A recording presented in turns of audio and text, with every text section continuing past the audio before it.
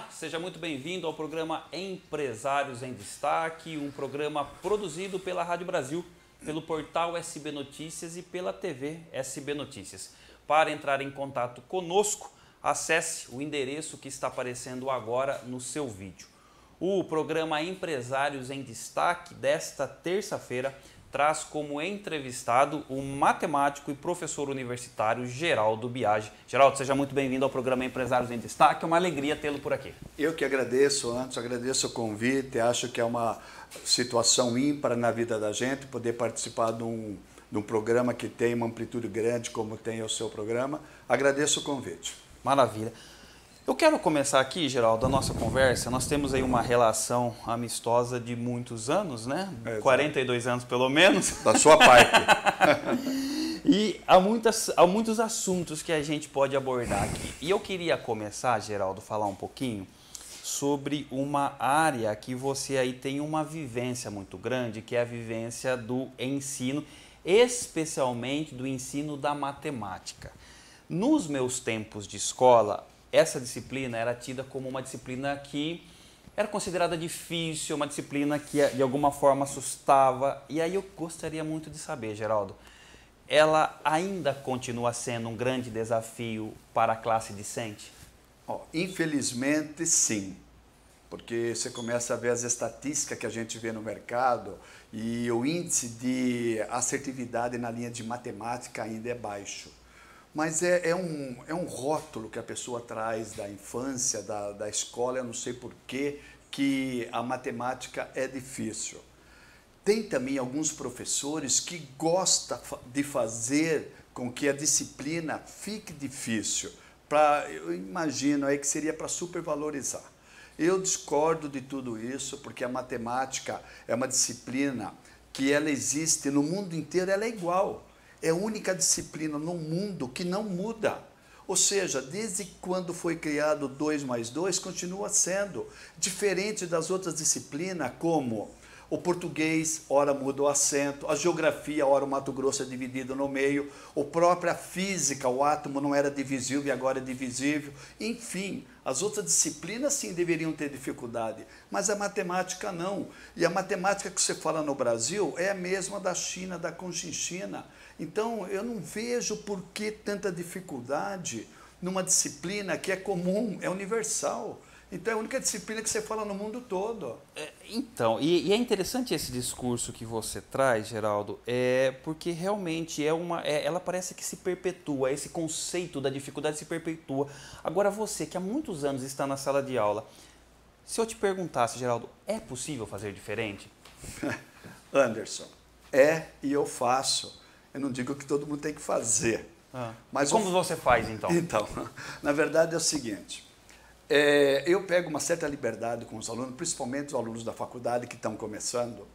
A primeira coisa, eu deixo eles muito à vontade, muito à vontade, e eu sempre começo a nivelar todo mundo. Eu começo a teoria de conjunto, que é a coisa primeira da matemática. Então eu falo assim, pessoal, nós vamos na velocidade conforme eu vou recebendo feedback. Mas onde que eles se sentem à vontade? Eu subo na carteira.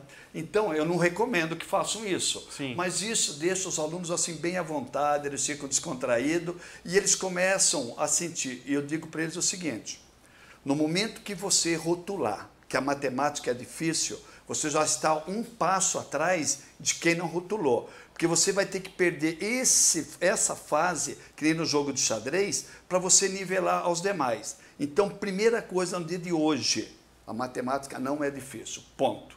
Então, se você já põe isso na cabeça, fala, mas por que, que não é difícil? Aí, nem que eu tenha que explicar dez vezes a mesma coisa, eu explico.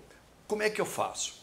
Então, eu pego um, um, uma parte da matemática e começo a explicar. Muitos já recordam, puxa vida, eu, eu já aprendi, então sei. O outro fala, Geraldo, eu não entendi. Então, o que, que eu faço? Eu vou no canto da lousa, deixo uma lista de exercícios. Pessoal, quem já entendeu, vai fazendo a lista. Quem não entendeu, vota comigo. Pá, pá, pá, pá, Uh, já mais uma parte da, da sala se uh, recorda. Vai para a lista. Quem vai, voto de novo. Ou seja, chega no fim, está todo mundo nivelado. Ou seja, ah, mas eu não consegui fazer a lista. Agora você faz em casa, porque você já aprendeu. Então, esse ritmo, os alunos, a hora que eles começarem a pegar, depois que você começa a dar as demais disciplinas, eles já ficam mais preparados, porque o problema é o início e aquele rótulo. Matemática é difícil. Inclusive, a dissertação do meu mestrado, ele vem exatamente uma proposta de metodologia para matemática para administradores. Por quê?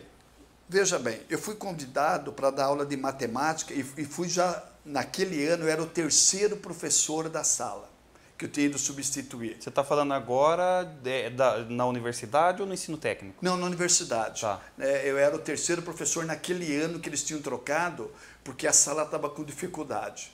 Então eu comecei já, quando eu entrei como terceiro professor, você começa a ser comparado. Então você tem que quebrar paradigma, você tem que tentar dizer que a coisa é mais fácil e tudo bem. Aí no ano seguinte começou então a questão Aí eu assumi a matemática mesmo na universidade. E em 1996, vocês não eram nascidos ainda, é, o, sempre no Unisal tinha três turmas de primeiro ano. Tá. Então, o que, que nós fizemos? A gente reunia no anfiteatro e os professores iam se apresentando. E, por curiosidade, eu fui o primeiro professor a se apresentar naquele ano de 96. Então eu cheguei, falei meu nome, falei o, o curso que eu tinha e olhei bem na cara da plateia. Falei assim: olha, nós vamos desenvolver aqui com vocês a disciplina de matemática. Houve uma sensação negativa da plateia. Nossa! Daí eu vi um comentário dessa maneira: puxa vida, eu me matriculei para fazer o curso de administração porque odeio a matemática e o primeiro professor que se apresenta para dar aula para nós é o professor de matemática. Falei, aí veio um style para mim. Falei, pessoal, pá, pá, pá, pá, pá. Ouvi um comentário que eu não devia ter ouvido. Agora vamos lá, todo mundo, todos, vai pôr, pega um papel, todo mundo tira o papel. Tiraram o papel. Falei, agora faz o seguinte, escreve o seu nome no papel, todo mundo. E põe a sala que cada um de vocês estão. Ah, eu estou no primeiro A, primeiro B ou primeiro C. Muito bem. Fizeram isso? Ótimo. Agora cada um põe onde trabalha. Ah, eu sou funcionário público, aí eu trabalho no comércio, aí eu trabalho no banco, aí eu trabalho na indústria. Papai, eu não trabalho, eu sou pago pelo meu pai. Todo mundo. Escreveu? Passa o papel para frente. Já. Aí eu peguei e separei a turma A, B e C. Muito bem. Aí eu peguei o pessoal do banco, o pessoal do comércio, o pessoal da indústria, o pessoal da. e separei. Falei, bom, pessoal, esse grupo aqui do banco vai nos mostrar a aplicação da matemática no banco, do dia a dia de vocês. Do comércio, vai me mostrar matemática no comércio. Da indústria. E assim começou o trabalho de, de integração da matemática. Na hora que eles começavam a ver que a matemática fazia parte do dia a dia de cada um, desde o, o amanhecer até o deitar, que tinha que dar troco, que tinha que entrar no ônibus, que você era o terceiro da fila, que você. Eles começaram a despertar, falaram assim: puxa vida, a gente vive a matemática o tempo todo e não tinha consciência disso. Aí esses trabalhos começaram a pegar vulto. Como? Então, o pessoal do banco vinha apresentar para os demais a utilização da matemática no banco. E os demais questionavam, tal, tal, tal.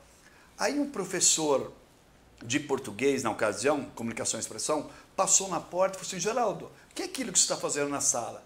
Falei, os alunos estão mostrando a matemática no dia a dia deles. Daí ela falou assim, e por que, que português não pode entrar nesse seu trabalho? Por que não? Vamos fazer um trabalho juntamente com português. Daí o cara de informática falou, informática também, tá, tá. Por quê? Cada um que trazia o trabalho, eles me davam um brinde. O banco ficava tão satisfeito, falou, ah, leva brinde para o Geraldo. Então eu saía com sacola de brinde do banco, da indústria, porque eles desenvolviam o trabalho dentro do, do habitat deles de trabalho. Então, isso aí facilitou o ensino da matemática. Aí as demais disciplinas entraram comigo e nós chamamos isso aí de PROPAI, que é Projeto de Prática Administrativas Integrada. Ou seja, é o curso da administração pegando as disciplinas e interagindo entre elas. Porque para a pessoa escrever o trabalho de matemática, precisava de português, porque tinha que saber escrever precisava da informática porque fazia PowerPoint. Precisava, então, do direito, porque eles referenciavam. Então, todas as disciplinas se uniram para fazer esse projeto. Aí, o que, que eu fiz? Eu fui fazer o mestrado e escrevi esse projeto. Sistematizou isso? Sim, tanto para o curso de, de administração como de contábeis, que chamamos de PROPS, que é Projeto Integrado de Ciências Contábeis Integrada.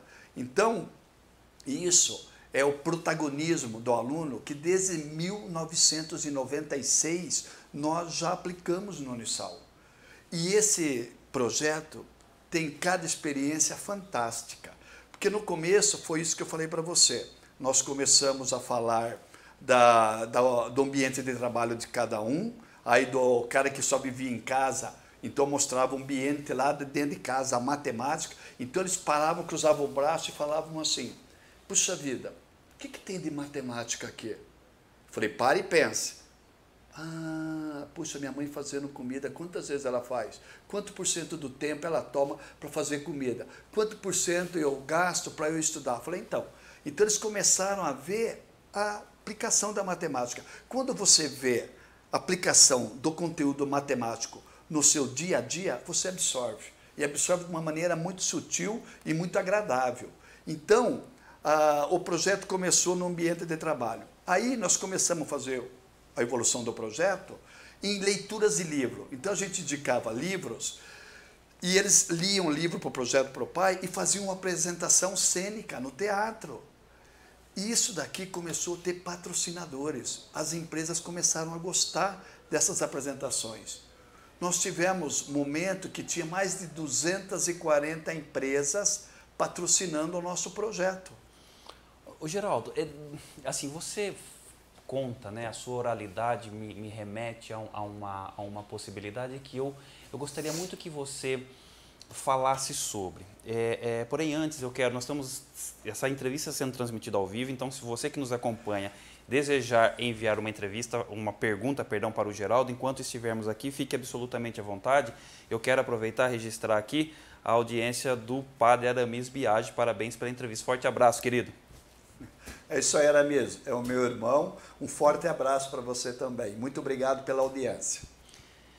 É, e aí, Geraldo, eu gostaria muito de saber, se você fosse um ministro da educação ou alguém que tivesse nas mãos a dire, a, todas as diretrizes é, que condicionasse, que organizasse a educação no Brasil, a, a relação de proximidade, como você propôs aqui, é, da matemática com o sujeito, você faria essa mesma proposta para o ensino fundamental, para resolver esses, eu vou, dizer, eu vou dizer aqui, ó, já, talvez esses traumas, esses medos que o aluno na universidade já traz consigo?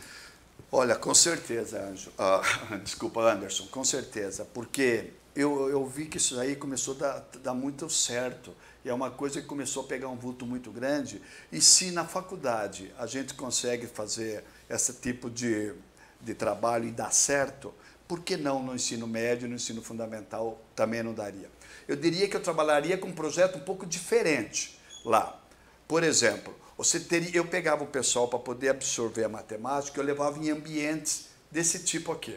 Muito bem. Pessoal, o que vocês estão vendo aqui de matemática? Ah, estou vendo um retângulo. Ah, muito bem. Que mais? Ah, estou vendo um, um ângulo. Muito bem. Você sabe definir o tamanho do ângulo? Ah, eu estou... Ou seja, Nesse ambiente aqui, nós temos tanta coisa de matemática que para o ensino médio fundamental é o beabá. Então eles começariam a escrever certas coisas assim, puxa, dia a dia. Quando que nós vamos estudar circunferência? Como é que eu sei medir aquela circunferência? O que, que é raio? O que, que é então? Você começa a mostrar a circunferência, você começa a mostrar as medidas e você começa a ensiná-lo. Aí você amplia. Agora é o seguinte, por exemplo, você vai fazer uma aqui, faz um, um, um, uma parte escura. Bom, tudo bem, quanto que tem de altura, quanto que tem aqui? Aí você começa a projetar isso daí de um lugar a outro. Ou seja, você consegue fazer dimensões muito grandes quando você vê a aplicação. Quando você só está na sala de aula, é, o triângulo é isso, mas não consegue visualizar, não consegue ver a aplicação, a criança tem dificuldade. Então, eu mudaria um pouco a proposta de ensinar matemática. A primeira é verificar se de fato o nosso corpo docente, discente, é, consegue passar as informações, o docente consegue passar para o discente corretamente. Então tem que saber se os professores também estão bem preparados. Eu primeiro daria um treinamento para os professores. É um investimento que dá retorno, não é gasto, é investimento. Você vai investir num treinamento com os professores e depois você vai multiplicando e vai passando para as outras entidades. Eu tenho certeza que isso aí tem tudo para dar certo. Dá um pouco de trabalho no início, mas a aceitação e assimilação é, não tem como medir, é muito satisfatório e eu tenho certeza que depois na faculdade nós não teríamos problema como nós temos hoje. Geraldo, eu quero aqui. É, tem um outro projeto que eu gostaria muito que. Um projeto que você desenvolve há muito tempo, e eu queria conversar um pouquinho sobre. É o projeto da Feira da Empregabilidade. Hoje, o Brasil está aí apresentou recentemente né, uma pesquisa que trata mais ou menos na casa de 11% de desempregados no Brasil. Eu gostaria muito de saber como o seu projeto é, da Feira da Empregabilidade pode contribuir para minimizar esses números no país. Porém, você vai responder isso para mim depois do intervalo. Nós vamos agora então para um rápido intervalo comercial e a gente volta na sequência aos questionadores, aos que fazem a diferença em um mundo indiferente, aqueles que não ficam de braços cruzados, fazem acontecer, vão em busca de novas soluções e respostas.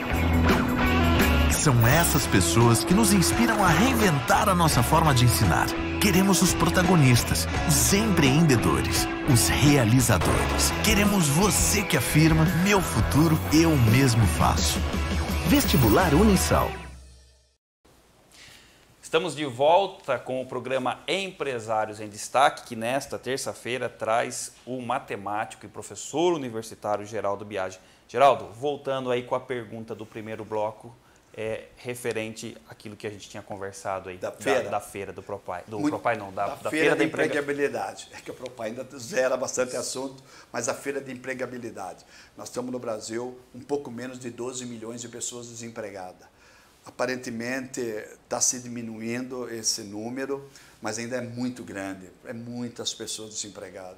Então, o que, que me remeteu quando eu fui é, convidado a ser coordenador da CEO, lá do Unisal, Central de Estágios e Oportunidades. Então, me veio na mente o seguinte, o que, que eu posso fazer para poder ajudar essas pessoas que estão desempregadas? principalmente alunos, pais e alunos e familiares. E depois para a comunidade em geral, porque a gente não pode ser também mesquinho de se preocupar só com os ambientes nossos. Então, nós desenvolvemos a primeira feira de empregabilidade dentro do Unisal. E lá aconteceu um fato tremendamente importante ser comentado.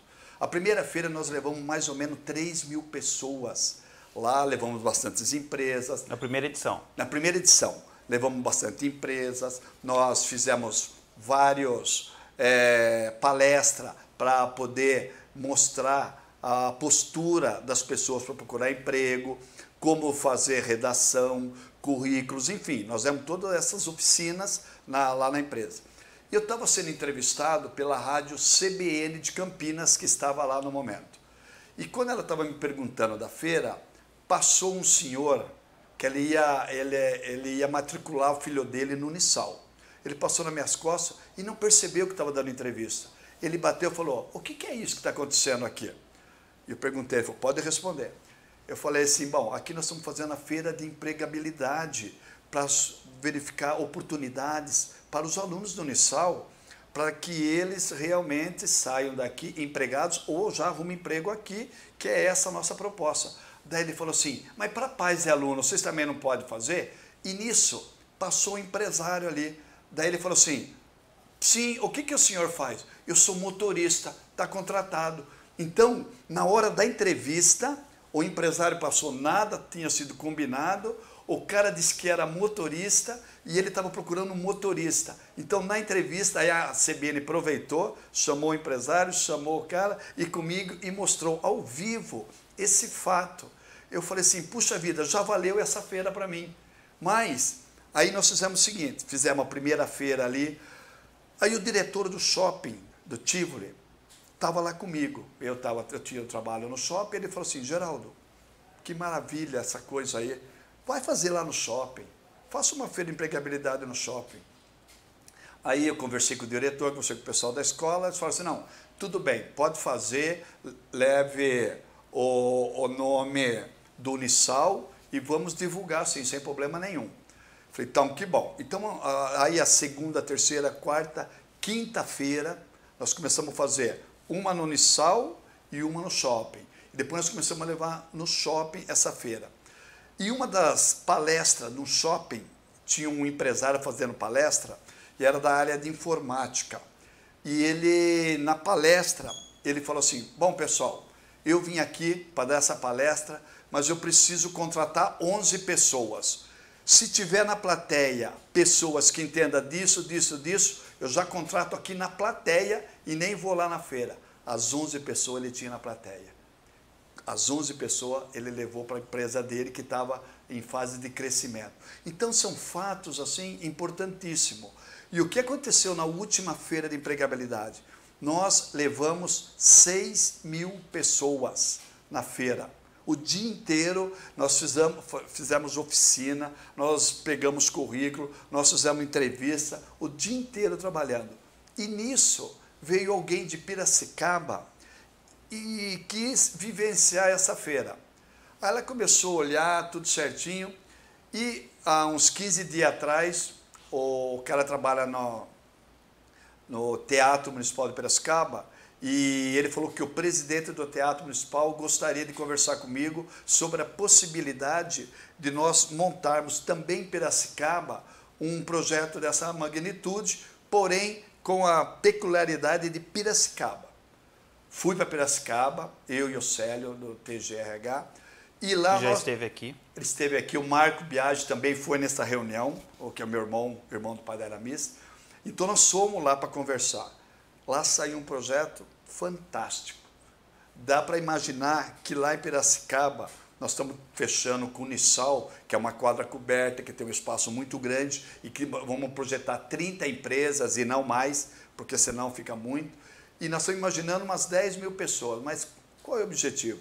O objetivo é extensionista mesmo. Ou seja, é ajudar essas pessoas que não têm tanto network, aproveitar nossa oportunidade, que nós temos uma facilidade de network, uma facilidade de vincular o Unisal com as empresas e levar para um local só a possibilidade de levar o público, para que eles de fato saiam dali empregado ou consequência disso. Ou seja, nós temos 25 grupos de WhatsApp que cabe 257 pessoas cada grupo. Telegram, 1.800 pessoas. E aí? Semanalmente, nós temos convênio com várias pessoas que fornece é, possibilidade de emprego, que nos dá. E a gente publica, é 420 emprego e assim por diante. Nós temos feito estatística de acompanhamento desses projetos. Semanalmente a gente se reúne e vê mais ou menos como é que está acontecendo a, a possibilidade de emprego. Aí é o seguinte, de uma feira para outra, mais ou menos mil, mil oitocentos empregos, a gente tem estatística disso. Por quê? Porque a pessoa, quando entra no grupo, a hora que ela arruma emprego, ela fala assim, oh, pode tirar meu nome do grupo, muito obrigado, arrumei emprego. Você vê a satisfação depois, no particular, ela agradecendo, é fantástico. Então a gente consegue ter uma estatística das pessoas que conseguem arrumar emprego de uma feira para outra.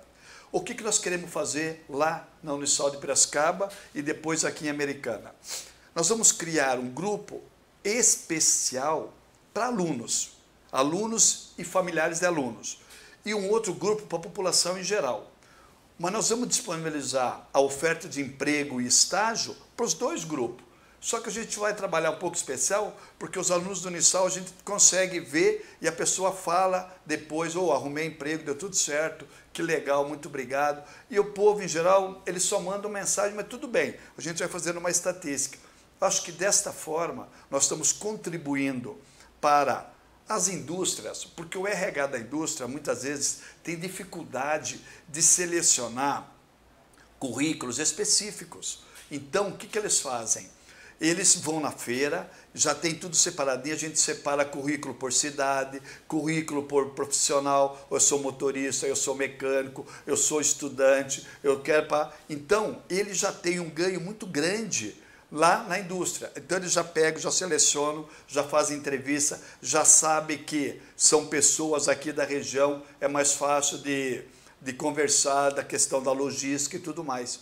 E o Unisal ganha por causa da divulgação e do trabalho de extensão, porque é um trabalho de ajuda mútua. Você ajuda o, o pai do, do, do aluno, você ajuda o aluno e ele continua o seu curso no Unisal. Então, eu acho que todo mundo ganha. O aluno ganha, porque o aluno que está ali trabalhando para ajudar a montar um currículo, ele ganha horas atividades, que ele tem que cumprir horas atividades durante o curso, a 200 horas e por aí.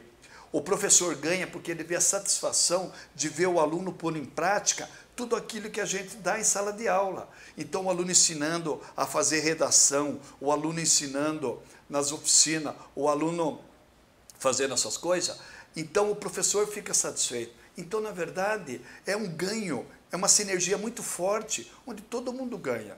Então a gente sente satisfação realmente. É, na verdade, assim, pelo que eu vejo você falar, Geraldo, de alguma forma você encontrou um certo sentido existencial nesse trabalho, né? Com certeza, com certeza. E, e eu queria aproveitar, Geraldo, já que a gente entrou assim num campo um pouco mais filosófico, eu diria, eu gostaria de saber, Geraldo, é, para realizar todas essas suas atividades dentro da sala de aula, fora da sala de aula, onde e como o campo da espiritualidade contribui com você? Hum, bela pergunta. Olha, eu sou uma pessoa que estudei em colégio de padre. Na minha família nós temos dois padres e quatro pessoas que participaram do colégio. Dos irmãos, Dos né? irmãos que estudaram para Dos sobrinhos mais dois, eu acho. Eu e o Samir. Exatamente. Então, a espiritualidade está, é, ela é vertente na, na família, na raiz. Minha mãe e meu pai eram um modelo fantástico de essa questão de espiritualidade e da ligação com Deus, tá certo? Então a gente tinha um, nós uma ligação com Deus muito forte e eu me sinto muito bem fazendo esse tipo de trabalho e eu acredito, eu acredito muito na vida pós-morte, porque senão, Anderson, imagina o eixo da abscissa falando em matemática, o eixo da, da abscissa é o eixo X. Tá. Então, o eixo X, ele tem um começo e tem um fim. E de repente, nós entramos nesse eixo, num tempo, nascemos e morremos. Deus do céu, se a gente não imaginar que tem coisa depois, você sente um vazio muito grande. Porque se imaginou, tá aqui, você entra, morreu. E daí? Passei em brancas nuvens, não fiz nada, não tem nada. Pô, dá um vazio muito grande. Então eu acredito. Agora eu faço uma comparação desse meu sentimento com uma pessoa grávida. A criança, quando está no útero da mãe ali, ela não sabe o que tem fora. Ela pensa que a vida é só ali. E fica ali, pá, come, dorme, faz tudo ali. De repente, ela nasce. Ela tem uma outra vida. E aí que ela descobre, enquanto ela está lá dentro, ela não sabe ela que existe. Eu acho que assim somos nós. Nós, enquanto estamos aqui, nós só ouvimos dizer que existe, a gente também não sabe. Então eu acho que a gente está igual uma mulher grávida. E a hora que a gente morre, a gente nasce por uma outra oportunidade espiritual. E é aí que nós vamos responder na parousia final o que nós fizemos aqui. E eu acho que tem dois momentos, com Deus e sem Deus. Meu Deus do céu, imagina você passar aqui só fazendo coisa ruim, fazendo coisa negativa. Depois, como é que você vai responder depois da vida? Agora, você consegue ser feliz fazendo coisas boas também. Você não está perdendo tempo. Eu acho que a infelicidade está em fazer coisas ruins. Então, eu acho muito importante a gente fazer coisas boas para ajudar os outros, sem se preocupar com recompensa, porque dessa maneira eu acho que nós vamos ser recompensados depois da morte. Então, eu faço isso com a maior alegria, com a maior satisfação, olha, sem demagogia nenhuma. Eu gosto muito de fazer isso e me sinto bem. Geraldo, bom, antes da próxima pergunta, quero registrar aqui Marisa Maelo, boa tarde, grande entrevista, e o Luiz da Euroconte pedindo para você selecionar um estagiário do curso de publicidade. Então fica aí a, li a lição de casa para você. Muito obrigado, com certeza eu vou pegar o seu endereço e vou te indicar, pode ter certeza disso.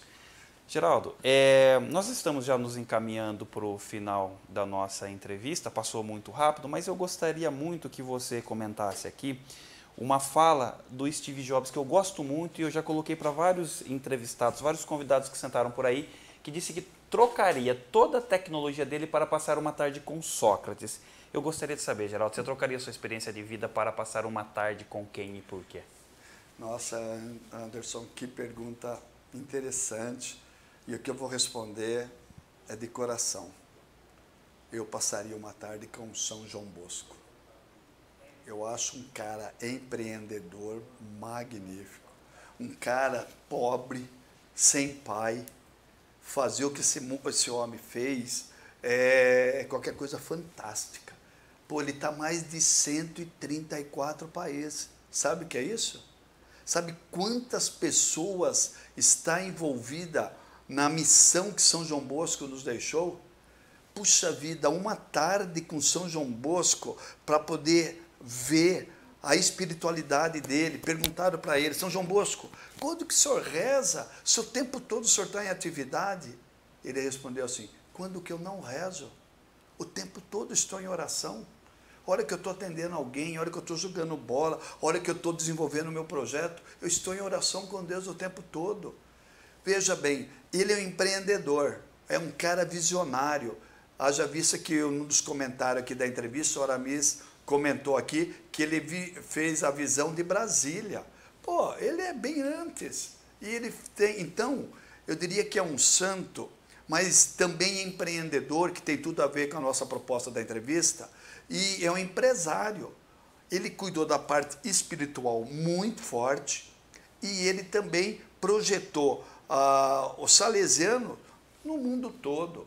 Puxa vida, me dê essa chance. Sim de eu ficar meio, meio dia com ele. Maravilha. Geraldo, uma pergunta que não pode faltar nesse programa e que é a pergunta mais aguardada pelos nossos telespectadores e com certeza não faltaria para você. Geraldo Biagi, para você, o que é a vida?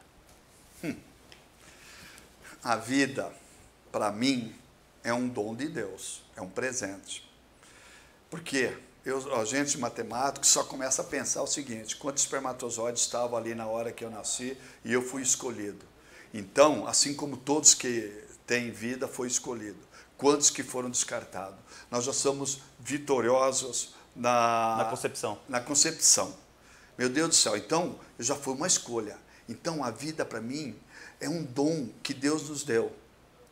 Aí nós durante o ano nós temos obrigações. Ele deu talentos diferenciados para cada um. E se você pegar esse talento e deixar guardado, o que, que você vai entregar depois para Deus? Então, cada um de nós temos uma missão de desenvolver os nossos talentos em prol dos outros, porque nós ganhamos. Então, nós temos que desenvolver. Então, é aquilo que a gente fala. O Deus deu o dom da vida, um presente para nós, e o que, que nós vamos dar na nossa morte? Para Deus. São todas as nossas realizações. Então, para mim, a vida é um dom que nós devemos abraçar com amor, carinho, dedicação, para depois nós sermos recompensados na outra vida. Maravilha. Geraldo Biagi, mais uma vez, gratidão pela presença. Eu Gostei demais da entrevista. Pena que o tempo passa muito rápido e daria para a gente passar uma tarde inteira conversando é sobre um assunto. Imagina tendo na pauta aqui inúmeras possibilidades de conversa, né? Isso é verdade, Anderson. Eu agradeço de coração e, obviamente, se tivermos outra oportunidade, com certeza nós vamos falar de outros assuntos, mas é um programa que vale a pena, é um programa que é, eu acho que muitas pessoas gostam porque tem bastante informações. Você leva de uma maneira tão, tão assim à vontade que as pessoas que estão sendo entrevistadas. Legal. Fica muito bem. Agradeço mesmo. Imagina, Valeu. eu que agradeço. E vamos marcar novas possibilidades para a gente continuar essa conversa. Tá certo, falemos sim. Obrigado. Imagina. Você acabou de assistir mais uma edição do programa Empresários em Destaque. Fique atento aos nossos canais para receber outros conteúdos do mundo dos negócios. Um forte abraço e até mais.